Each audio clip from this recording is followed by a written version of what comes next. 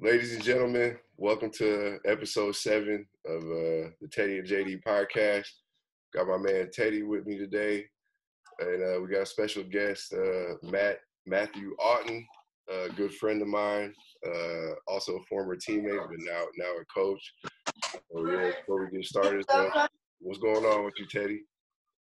Not much, man. Just sitting around with the fam on Father's Day, spending time been working out a lot still, trying to stay in shape since I've been back home.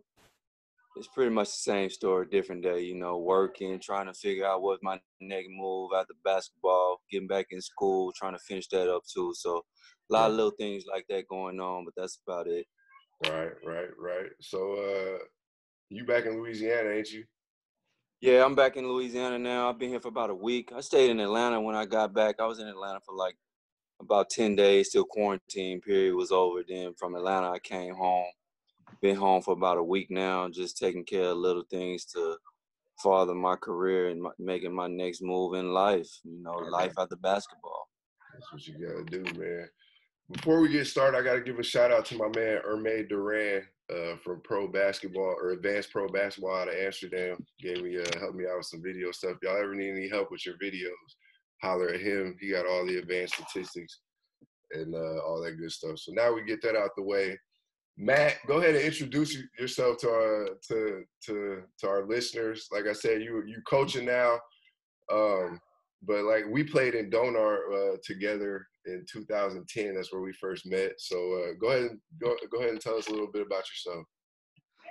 Yeah, uh, my name is Matthew Otten. Uh, yeah, I'm uh, from, uh, let's say I'm a military brat. So I grew up, you know, growing, moving around base to base, um, and played a little college ball in San Francisco State, Division two. Um, uh, and then uh, I embarked on a professional career in Europe. I played uh, Switzerland, England, and Groningen. That's where I played with, with Jason, of course. Um, and uh, yeah, and uh, let's say I retired at 34 about four years ago, and getting old. um, uh, and uh, I got into coaching. You know, it's it's funny hearing Teddy talking about stopping and figuring out what's next. Uh, it's, I, have been there, and uh, a lot of a lot of players going through that, and that's that's that's a hard step to make. You know, when when basketball is all. So yeah, that's uh, that's that's me. Um, played uh, played played played while I could, and and then I got into coaching, and now I'm trying to. Uh, uh, I fell in love with coaching, so that's uh, the next step for me. For a little bit of context, when we played together, it was my first year in Groningen, and we were on the same plane flying over. We didn't know who each other were or who who who uh, we were, whatever. So we all got, we both got in Hans's car, and it was like, oh, I seen you on the plane, blah blah blah. So oh, y'all serious? yeah. So we got to talking on the way to uh, uh, Groningen, and then to come to find out, he lived uh, right below me. So we was like, so my apartment was on the top floor, his was on the middle floor. So that year, him and I became like best friends. Like we did a lot, a lot of stuff together. You know what I mean? yeah. argued about Kobe and uh, LeBron for two years. Yeah. This was back. That, that's that's, that's an ongoing pro. That's an ongoing thing with him too. yeah. Him and yeah. LeBron like best buddies. Hey man, I just respect the well, That's J- Jason, I, I don't know if you know this, uh, even Teddy, I don't know if you know this, but uh, when I first came from college, I had a tryout with Amsterdam and Teddy was on that roster. Um, so I was there for about a week, uh, trying to make your roster. Uh, maybe I was, you know, I'm not, I'm not, I'm no nowhere near the level Teddy was. You know, Teddy, Teddy was already on contract, so I was trying to make the team. Um, yeah. So I worked out with Teddy for a week, and then I went to Cyprus uh, that week. Uh, so that was, uh, I already knew Teddy a little bit. And, yeah, hell of a I don't even remember that. That was what yeah, year was that? What year was that? That's what I mean. That's what I mean. Oh, 2007. 2007. Yeah. Yeah. Uh, Shevek was coach, um, and I I was an American. I didn't have my Dutch citizenship yet. Um, that also helped me in my career. Um, so you know, I, I remember Shevek saying, you know, as as a, as a Dutch player, maybe we take you. As American, we have enough. So it was, uh, but it was, uh, it was nice. Uh, I got to work out with uh, with Teddy and see what see the gift that that he has, and you know, from then on, like I said, you you probably don't even remember me, but I followed your career after that, and it's funny to see that you you came back and played with Jason, Yeah. you know, who I got to play with. That was uh, pretty amazing to see. Small world, ain't it? Small world. Yeah, it is a small world. It is a small world. I don't got the best memory in the world either, so don't hold Uh, me. You know, don't. I hold wasn't me- that don't hold memorable. that me. I wasn't that memorable. It's all right, uh, but uh, you know, uh, Speaking of, you said you went to Cyprus from that. Tell us a little bit about your career, uh, Matt. Like, because you told me about it uh, multiple times. Like, you know, the, just different things that you had to overcome to get to the point where you had like a what a ten year career overseas, or is that right? I I had a ten year career. Yeah, um, Ten year uh, career, which which a lot of people, you know, they dream of that, but they never have a career that long. Yeah, Can you can you kind of tell us a few of the things that you went through, like how it first started, your first job, et cetera, et cetera? Well, first of all, um, coming from a Division two is difficult enough. You know, uh, Yeah. it's uh, uh, there's there's thousands of Division one players who are already um, you know first take when, when coaches are scouting or clubs are scouting. So um, I, I- believe that I was a part. I, I I'm a little bit older now, but uh, when YouTube started coming out and you can upload your videos, I think I was there at that time. So you know, I put all my video online. I started networking with agents and coaches, and I found out I can get my Dutch citizenship. So that would that made it um, made me more of a higher commodity as a Division Yeah. two player, but Sure. with Dutch Yeah. citizenship. Um, uh, so that uh, you know that kind of sparked my my career, being able to get that. It took me some time to get it. Um, so my first job in Cyprus was as an American. My first job in England was as an American, and then I acquired Dutch citizenship, um, and then uh, you know was able to go from there. And on top of that, you know, I, I already had two knee surgeries in college, but uh, it was just one of those things. I was like, I'm gonna do this, and I'm I'm not stopping till I do it. You know. Uh, Right. And then, and then of course I got to I got to play with great players like Teddy and win a championship with Jason. So yeah, it was uh I had I had what I call a grinder career, but uh, I I was there and I'm and I was proud to be there. You know. Yeah. Yeah, you know what? I think um, between the three of us, that's pretty much how we all got started. It's kind of like it was a grind for me starting out too. You had to start at a lower level and then build up from there. Even though I went to a major D one, I just I didn't really, you know, when we came out of school. Well, when I came out of school, it was okay. I'm 40, but when I came out of school, they were in the league. You know, they were only taking guys who had been at that time. They were taking guys who stayed in college two or three years and had numbers too. So you had to be experienced at that time. It wasn't just about athleticism and potential back then. You know, it kind of shift like the draft kind of shifts like that. Right. So back then it wasn't like being athletic.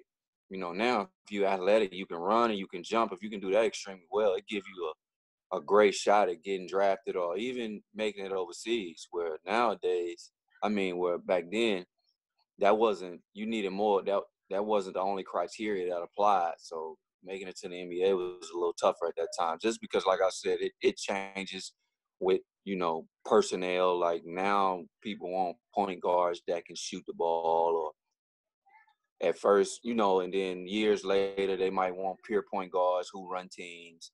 So it kind of shifts. So when I came out, they weren't just looking for athletic, you know, guys. Because if that was the case, I probably would have made it easy. It was just, you know, so I had to grind like you, coming to Amsterdam, playing for only eight hundred dollars a month, and working my way up Really? from that point. Yeah, my first season, Wow. eight hundred dollars a month. That was it. At Amsterdam. Yeah, Wow. Yeah. You- Wow. You, rode that train when they started. They had big money after a while, but yeah, he was there in the beginning. So that's cool. No, I wasn't there in the beginning. It was just like I didn't play my first season out. I was young, and they knew that I needed to get my foot in the door, so they used that as an advantage. So I didn't have no weight to be like I don't. I I couldn't turn it down. It was the only job off I had. Right. So, and to me, to be honest, it was just my dream to play professional. So I still thought I was winning from that angle at that time. I was like, I'm playing professional basketball. I'm getting paid to do it. Right. So I didn't even look at it as like a downside. I feel like that mindset is what was able to carry you to a Euro League job because you touched Euro League. You know what I mean? So that that's that's that's an amazing story.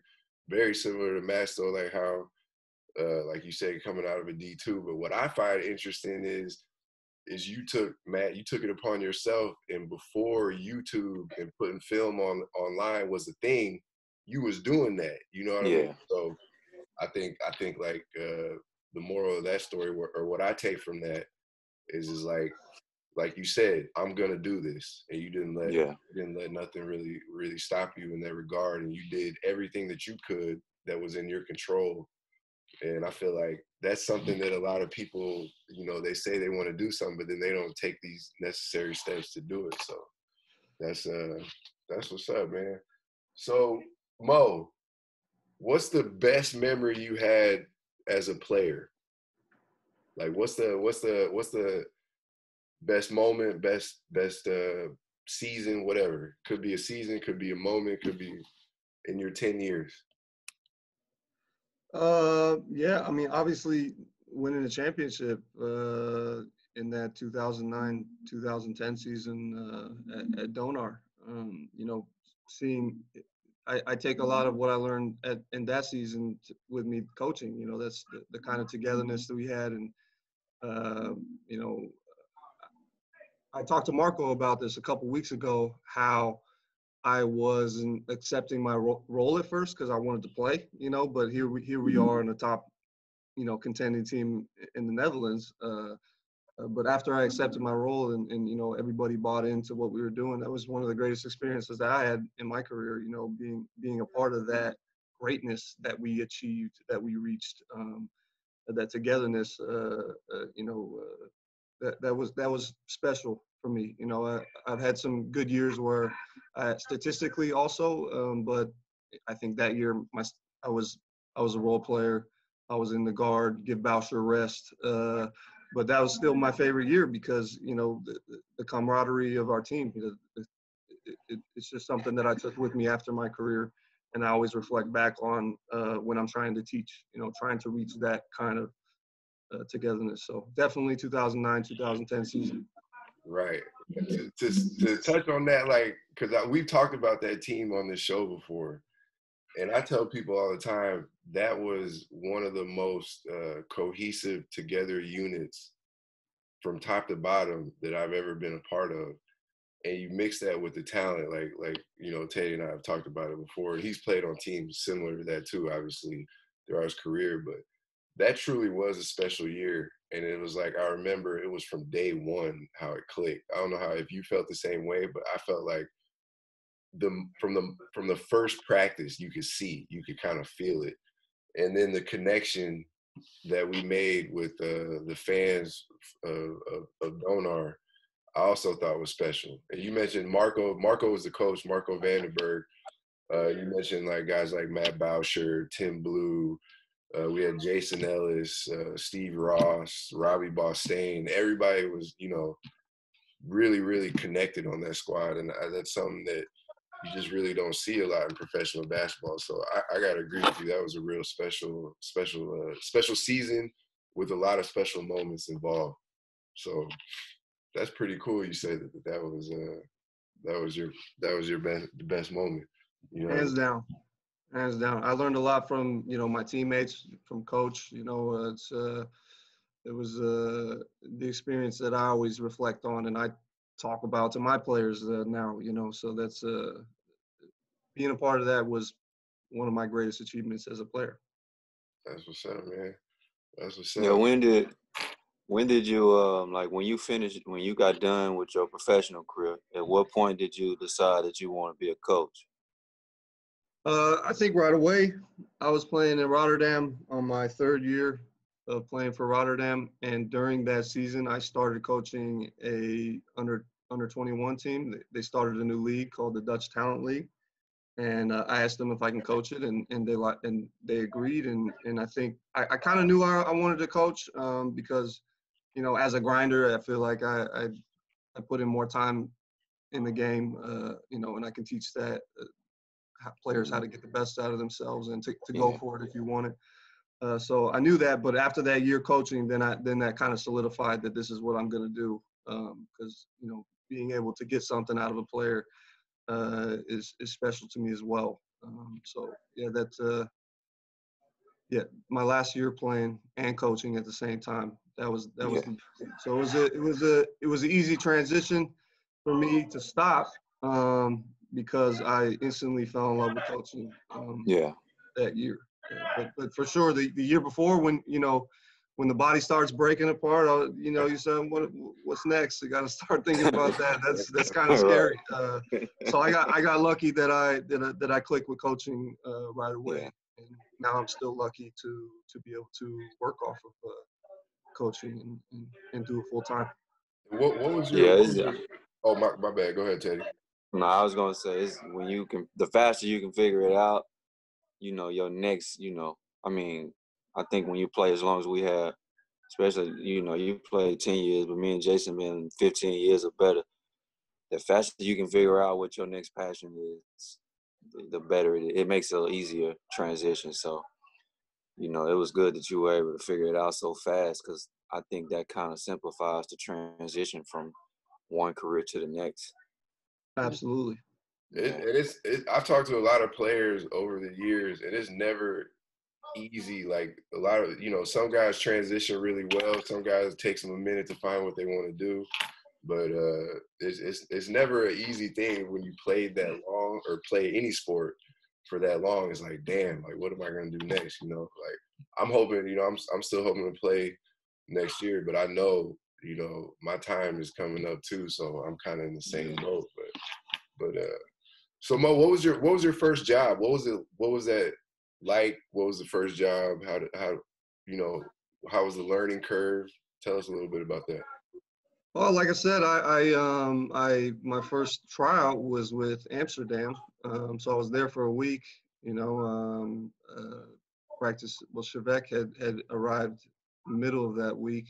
Um, so I was working with the other coach they had there, and then that week I found out it was going to take me more time than I thought to get my Dutch citizenship. So I had my agent look around more um, because Amsterdam was maybe ready to sign me if I got my Dutch citizenship, uh, but not as an American. So then I went to Cyprus, and I was in Cyprus.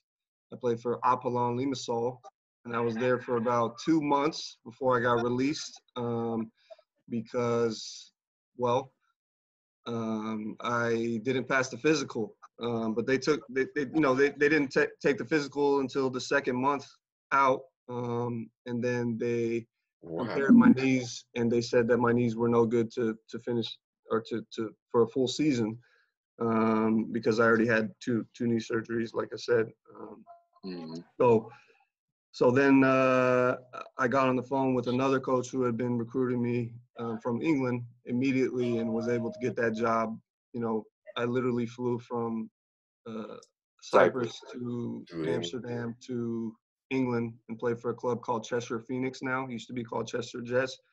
So yeah, it, that was technically my first job, Chester Jets, and that was a great experience. You know, that they let me play, um, you know, and it had some great teammates as well. And I had a good good year that year, which also sparked uh, an opportunity for me to get my next job in Switzerland and my next job in in, in Donar. You know, so uh, uh, yeah, All right, so that was your first playing job. What was your uh, what was your first coaching job like? Like the learning curve with that, like experience. How how did that go? Um, first coaching job was was also great. Well, first I coached the the Dutch Talent League while I was playing, so I don't really consider that my first coaching job. Um, so after I stopped playing, I I knew Sam Jones from playing against him. I don't, you guys, I think, Yeah, I know Sam Sam, Jones yeah. playing against him. And uh, when I was coaching the Dutch Talent League, I would see him in our gym after we played a game, and I I was asking coaches questions, and he he had just recently stopped playing as well, so I was interested in his story. Uh, so I was always talking to him after we played against them as a player. Um, so when I stopped playing, you know, after many conversations with him as a player, I, I called him immediately. I said, you know, I really want to take a step into coaching. You got anything for me? And he, and he said, well, you know what? Uh, our assistant coach just stopped. So, you know, let's set up an interview. And uh, so we had an interview online just like this. Um, and we talked and, and, you know, he, he he saw my passion in coaching and and saw that uh, uh, you know we sort of had a click. So that was my first job. It was called the SPM Shooters. It's now the New Heroes in It's Denver. boss. Teddy, Yeah. you know them boss. Them Yeah. boss. So so yeah, so I, I became the assistant there, and we, we were in Europe Cup. Uh, so so for, for me to, I, I, I don't know. Now Rotterdam basketball now is getting bigger, but when I was finishing my career, it was a pretty low level. Um, yeah. bottom three in the league. Uh, so to go from playing on the bottom three of the league to being assistant coach in a Europe Cup team, I and wanted- coaching with Arvin Slagter, Kees Akerboom, Stefan Wessels, you know, that Yeah. was wow. It was like it was uh, uh so yeah, and it, that was a great job as well. Sam Sam first, he was a great mentor because when I came in there, he said, you know what, just listen for a month. You know, so I was on the court every day with him, just listen, and then after a month, after you learn what I'm teaching, then you can start, you know, uh, contributing. Implement it. So, yeah. So Yeah. so after after that month, you know, then then I was kind of in Sam's head, and I was, you know, we were both kind of uh, working together for the season, and it, it was great to work uh, on that level and coaching Europe Cup, and uh, that that was a beautiful transition for me, you know, uh, to to to be able to coach my first season on that level. Um, so yeah. Yeah, that's that was an amazing first year. Yeah. Was, Great experience too. Yeah. Uh, was Tai Wesley on that team? No, he was there a year before. So we we Ah. had all Dutch and uh, it well one Canadian player, De- Deon Kravich, um, and we won the cup with an all Dutch and one import. So that was that was overachieving in my opinion. You know, uh, Yeah, we, yeah. didn't make it out of the semifinals uh, of the playoffs, but we won the won the cup by a buzzer beater. So that was that was a fun year. I remember. I, Yeah. wa- I was in Germany that year and I was watching that game. I remember that. That's right. I forgot Kravitz. Yeah. Because uh, that that was the game. Uh, Mohamed Kherrazi he he hit a buzzer beater, but it was after the clock, right? Was that that game?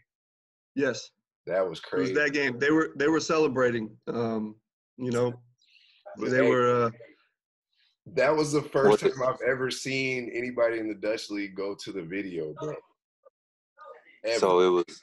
That's what I was about to ask. Was it really after the clock? it was. Well, according to the video, it was, uh, and and I've always said, you know, to this day, well, not to this day, actually, uh, that fair is fair. Um, but, but I I work. I got to. I, I've been blessed enough to work with Worthy De Jong and, and Mohamed Kherrazi. Now I work with the Orange Lions national team, and uh, we had a long talk about it. It was the first time we talked about that situation uh, because I only saw it from our perspective and from Sam and our team, and, and uh, because Ziggo Sports was there recording the game, and uh, Ziggo Sports uh, had the film set up right behind the table, so we could see that the buzzer went off before it left his hand, and um, uh, so so we were telling them you need to go look at video. Sam, I always make fun of Sam to this day because he was doing this. Go to the film.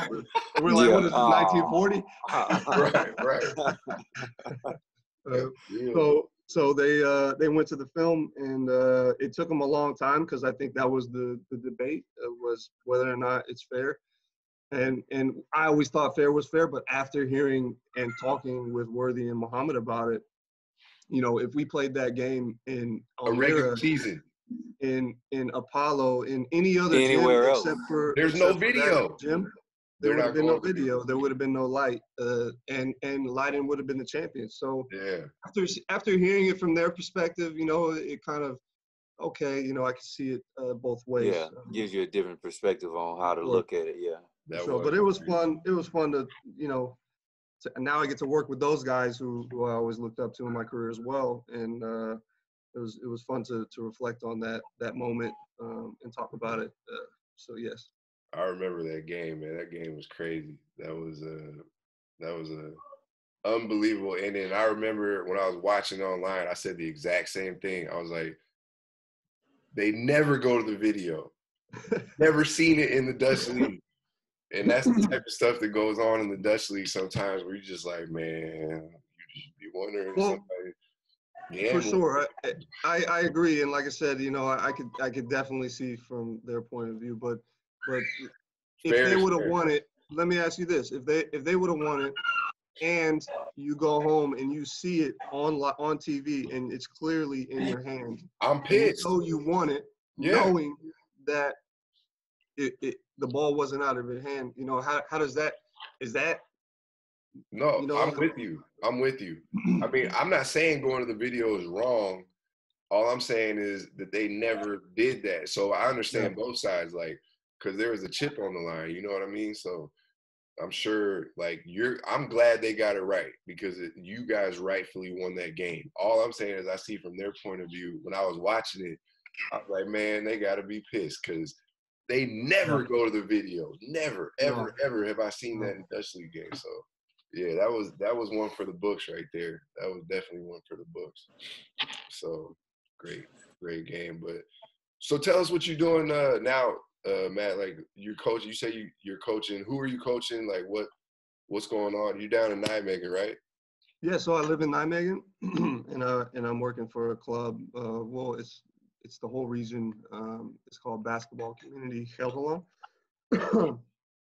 and uh, they're well, they we've been trying to take the step into DBL for some time, um, and I think now is the they're closer than ever. We're at 90% budget wise, and um, uh, so yeah, I, I've been here working on development, uh, talent development, and also trying to uh, help the club give a push into the pro league um, for the last four years now. And uh, on with that, I work as an assistant coach uh, for the Orange Lions. Uh, so you know, it keeps keeps me busy.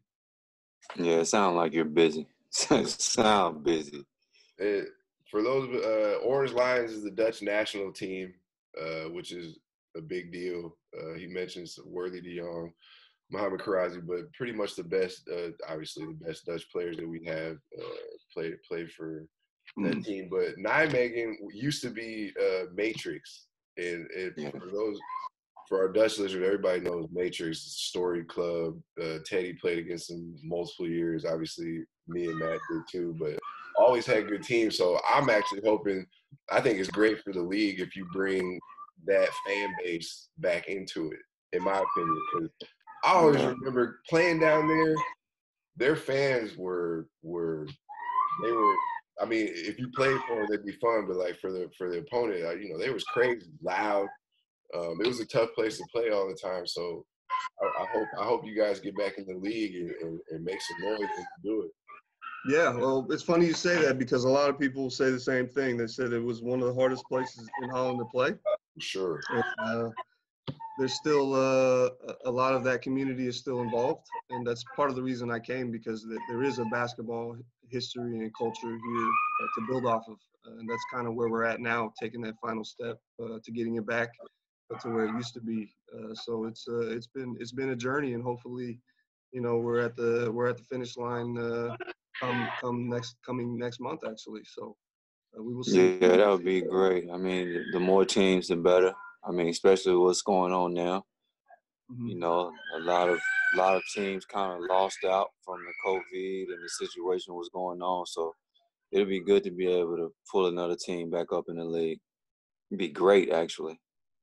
So would you guys be the the uh, Matrixx again, or what what would the what would the Yeah. club name be? Um, no, it's uh, the Dreamfield Dolphins. That's the uh, the club is Patawa, and now they've started a basketball community Gelderland uh, with all the clubs in the region to work together towards DBL. So there's multiple board members from all of the communities. Right. Uh, but the but the, the team name would be Dreamfield Dolphins, and that's the promo club that they have here. Um, so that's because the one of the sponsors is the owner of Dreamfields, and the Dreamfields owner is actually the the Magic's owner or the Matrixx owner. Uh, it was a nightclub, and now Yeah. he got into uh, uh, festivals. He's uh, it's Dreamfields. Right. Man, I, I, I went to the Matrix Club one time. That was one of the craziest experiences I ever had. it was like big, it was like a big old techno club with like lights flashing on the stage. And, Well, Man, I tell you what, that's that's also crazy. one that's also one of the reasons it was hard to play at Matrixx Magixx because the club owner, his name is David Bronze, he put on the um, the entertainment for for the games. You know, so they had it, it was a club owner putting on the entertainment for the game. So they had the DJ, the Yeah, lights. it was the, there. was lit in the games, and it was lit at that club too. It was just, it was the club was like another level lit. Like I was, yeah, it was my first time experiencing something like that. So yeah, I'll never forget going in there. But that's what's up, man. I'm, I hope uh, I hope you guys get in because I was Den Haag. Den Haag is trying to come in too. Yeah. Amsterdam dropped out. Uh, so we need yeah. I hope I hope you guys come in, man. So the next question would be is are you guys expecting to be competitive your first year? Is this sort of a thing like you want to develop young talent or like what, how are you guys approaching that? Um, well, I'm always expected to be competitive, uh, but uh, of course there there might be restrictions in in uh, budget the first year, so that that's going to be a challenge to be competitive with a smaller budget. Um, but uh, I, I don't I don't I don't see it that way. Um, I think that we could do a lot with a little if we get the right mindsets together. Um, Right. Yeah, absolutely. young and hungry players. Um, so, uh, uh, but you know, it, it all depends um, uh, how far our bes- budget could reach. You know, what kind of team we can put on the floor, and we're not, we don't know that yet uh, because there's Yeah. there are several sponsors, and now there's the discussion of what the what the sponsors are going to put in, what the budget's going to be. You know, what are the costs, and I'm not really involved in that conversation, um, but Yeah. I, I you know, um, I believe that we will compete on any level um, with whatever budget, and that's uh, maybe that's reaching for the sky, but uh, I like it. It that's why shouldn't be. got- It shouldn't be no. It shouldn't be no other way. I like that mindset, man. Like right. Yeah. And obviously, with the whole budget thing, you don't know, like COVID, that's affecting a lot of stuff throughout Europe right now. So, man, I hope, uh, I hope y'all, I hope y'all get it together and get in the lead, man. Because I can't wait to, I can't wait to see. I think well, also good. also i mean you know i'm i'm now working for the national team so i'm i'm in charge of uh, talent recruitment in in holland and there used to be a lot of talents coming from gelderland gelderland is the region that i live in that the, it's nijmegen is in gelderland and um, there's a lot of big talents from from this region you know Jito Kok, shane hammink um, but they they they were bred through that Matrixx time you know so yeah. with a DBL team installed here, we we might be able to breed more players from this region. You know, Right. We, we missed the wow factor if if Yeah. you want to get young players involved. Uh, so that's also you know part of part of my ambition to bring basketball, uh, and and you know the the board's ambition to bring basketball to this region is so we can develop more talent. And as an as an Orange Lions coach, uh, it, it just adds extra uh, kick to what I'm trying to do. I Yeah. like it. I like it, man. I think I think that's one of the the, the biggest things in Holler right now is uh, that maybe I'm not gonna say missing, but they need more of is developing the young talent. So if that's a goal of the club, I think I think that's a win for everybody, man. But, uh, Absolutely. yeah. Well, Mo, Matt, sorry, everybody I call him Mo because that's what I called him back in the day. My bad. Yeah, we had we had three mats. We had three mats on the team: Boucher, Hype, and Mo. Yeah, and I was Yeah, Mo. So I always call him Mo, and I, I always slip up and do that. But Matt, I want I, I appreciate your time. Uh, thanks for coming on. Uh, and like- Yeah. Thanks for coming, man. with No, your- thanks for having me. I mean, like I said, I always looked up to both of you guys as as players, and lucky enough, I was on the court with you. And at one time, I was even on the court with Teddy, and you know, I followed your career. It's a it's a it's a pleasure to talk with you guys. Appreciate you having me. Yeah, man. We appreciate that. All right, fellas. Well, till the next episode, ladies and gentlemen, we'll holler at you. Later.